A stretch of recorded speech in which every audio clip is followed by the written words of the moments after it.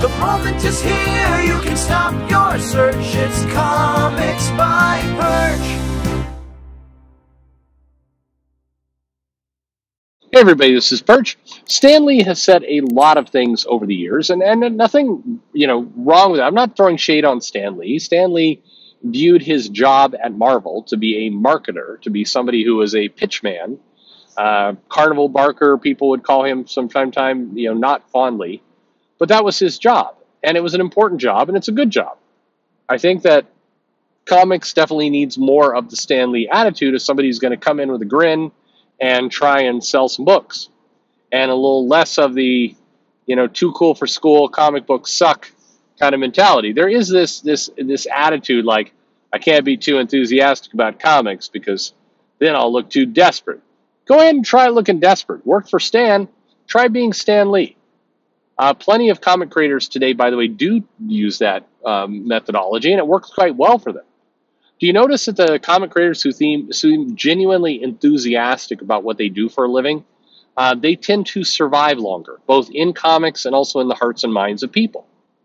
Um, it's it's you know I, I it's hard to assess like what what's going to happen to Tom King in the years to come. Tom King, who often is kind of paints this kind of depressive kind of you know aspect about himself. If I'm banking on who's going to be in comics still going in 20 years, I'll uh, you know the other one is Jeff Thorne, who's been on this channel. I know several of you had big issues, didn't like the Green Lantern run. I liked it. I stand by it, and I will because I enjoyed it. I would say I enjoyed it even if he hadn't come on the show. I think he did a good job with those characters. You don't like it, that's okay. You don't you don't need to convince me to dislike it, nor do I need to convince you to like it. It's your it's your dollar, it's your your pick. See how easy that is when we just let each other like or dislike what we want? Amazing. Amazing.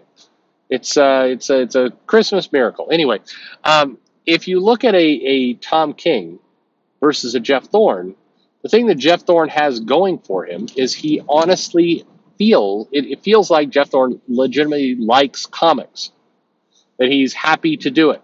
Now you may not like what he writes, but it does he does come across as somebody who enjoys being in comics and would like to keep doing it. And I think that goes a long way. Even if you don't like the books that are coming out, it's nice to have somebody who actually, uh, you know, seems to enjoy what they do for a living.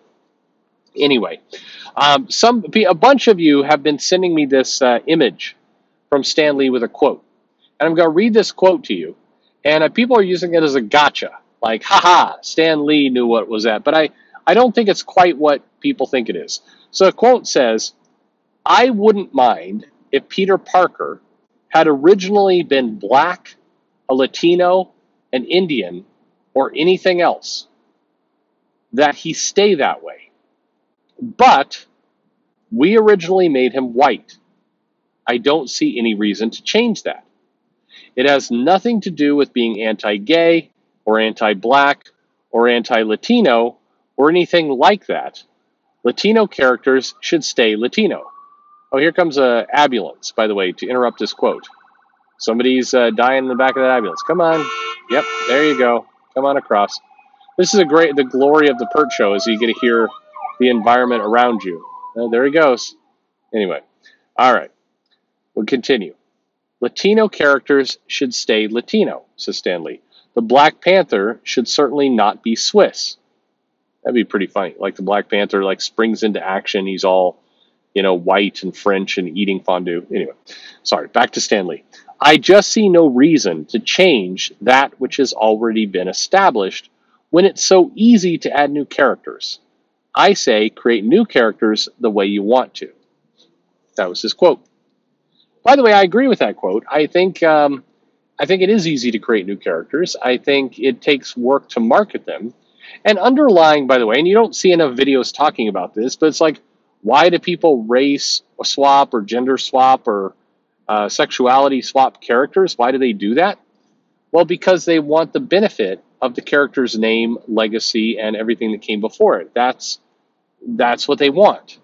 They're they don't want to start from scratch and put in the hard work to build it up. They want to basically leverage the name Batman or Spider-Man or Captain America, what have you, and be able to kind of you know short circuit the natural building up of the character process in order to start getting some money today. And that all sounds good, but it actually doesn't ever work. It sounds like, hey, I can do this, but it turns out the customers and fans are not fooled by this. And it just consistently, there's now decades of proof that that logic of, hey, you know, we'll use the name Captain America, so we'll get all the Captain America fans. We'll go ahead and be progressive and change the character to be black. It uh, people go, but wait a minute, Captain America was white. And then you call them racist, and you get into that entire fight. It it doesn't work over time. You know, customers, you know, know how you originally created it, and they they don't move. They don't change like that. The only way they're going to do it is if you put in a lot of time and effort, and you build up a story and then you can get them to change, but then you're putting in a lot of time and effort. That's the entire point. If you're trying to get a character over, you got to put in time and effort. Anyway, people have been uh, uh, people have been saying this about the Stan Lee quote. They've been sending this to me as as proof that Stan Lee was against some of the changes that have been going on in comics and some of the different storytelling and some of the race and gender swaps. And this all sounds fine until you go and you look at other Stan Lee quotes and you realize that uh, Stan Lee said a lot of things in his time. And uh, for example, one of the other quotes uh, Stan Lee said um, that uh, when they were doing the uh, Fantastic Four, is Stan said uh, when they when they asked him, "Hey, you know, how do you feel about Michael B. Jordan being Johnny Storm in that re- really terrible movie?" of which Michael B. Jordan was like the best part of it or one of the best parts. Like I, I don't know the best part, but I mean he was one of the like the problems of that movie had nothing to do with that decision. A lot of people were I know were upset at the time, like you can't make Johnny Storm black. If only they knew that that was the least of the problems going into that movie. But anyway, it says um, Stan, when they asked him like, so uh, how do you feel about them changing, you know, Johnny Storm? Stan Lee, and I quote said, um, you know, it, they said, is it okay? Is it okay that, you know, they made Johnny Storm black? Quote, Stan Lee, it was more than okay. I thought it was a great idea.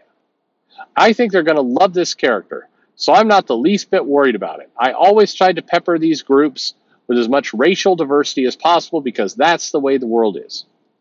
So that's that's Stan's quote. So what what does Stan actually believe? Well, Stan believes in making money. That's what Stan actually believes. Stan believes in, uh, hey, my company is out there and they made a decision. And the decision they've made, I'm going to enthusiastically stand behind as the best decision in the world. Now, Stan Lee has written a lot over the years, and I'm not going to pretend that I could get inside of Stan's head, know exactly what he's thinking, but he wrote enough material to suggest that, yes, Stan Lee actually did believe in racial diversity. He was not a white supremacist. There's been some uh, really shitty people who uh, who are writers at Marvel, by the way. And if it was me, there is no effing way that I would ever hire somebody into my company who would talk about Stan Lee being a bigot or a racist or any of that kind of stuff. I, I wouldn't. I would not. Sorry, you would not get a job at my company if you're going to insult somebody like that. By the way, same rule applies to Kirby. If you want to go in there and, and throw some shade at Kirby, piss off, go work for somebody else. That would be my standard. I do think that you should uh, have some respect for the the elders and the statesmen who built the company that you're working for. And if you can't do that, I don't think you belong there. But that's that again, that's my call. Everybody has their own your own call. But Stan Lee definitely de- believed in diversity, and I think he believed in comic books as a method to do storytelling that could could tell some of these stories and could paint some of those pictures. I think he believed it. And I think that uh, if you know Stan Lee, but I but I also think his original quote, the one people keep sending me about racial diversity, and that hey, you know, uh, if you made Spider-Man white, he should stay white. I think that people are getting hung up on that part of the quote, and they're missing kind of what he was saying, which is really the the bigger, truer statement toward the end, which is I see no reason to change that was just already been established and here's the important part when it's so easy to add new characters. That was what Stan Lee believed. Stan Lee believed that it, uh, if you wanted to create racial diversity, and you should, that the way to do it would be to create something new, to grow the universe, to add complexity, to add these new characters and do something new and original. That was what Stan Lee believed in. and I think he consistently wrote a lot about it, and he he you know that was that was his true feeling as a editor in chief, as a somebody who created comics. So, no, I don't think this quote is exactly the gotcha where Stan Lee would say. So people have been sending this to me saying, "Don't you think Stan Lee would be embarrassed and hate current Marvel?" And the answer is no, I don't. I don't because Stan Lee believed if he was tethered to the company, if he was hired to do a job, if he was there to promote and work for that company, then he should enthusiastically support what that company offered. That was what Stan Lee's bit was. That was what he believed. And so I think that Stan Lee, if he was alive today, would be standing out there going, I love Marvel. Marvel's doing amazing stuff. And man, I, I just, I'm so impressed with these characters. Who's this character over here? Kamala Khan? Sure. Kamala Khan is a fun, engaging new character, and I think she's awesome. That's what Stan Lee would say because Stan Lee worked for the company and he believed his job in working for the company was to support the company. And you know what? That's a pretty damn good thing.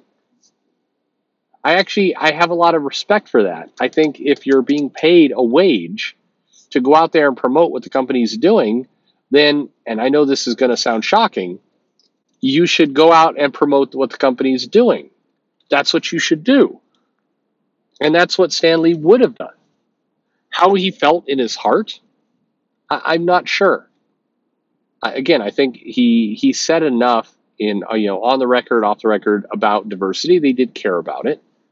I think he also cared about creations. I think Stan Lee, personally, and I'm totally guessing here, he would have been horrified at the idea of taking a character that had been built up and then just ran like Iceman. I, I would suspect that he, if he knew about it before he died, I don't think he would have enjoyed the idea of them saying, you know, hey, you're gay now. I don't think he would have liked that. I may be wrong, but I don't think he would have appreciated that because Stan Lee did have a healthy respect for what came before, and Stan Lee also believed that you know you could you could just create a, an amazing new gay character, and why not just do that? So it's an interesting it's an interesting comment. So what do you think Stan Lee would have believed in? Um, you know, speculate below as you will, but anyway, just uh, uh it's interesting when you see all of what people say. Thanks for listening.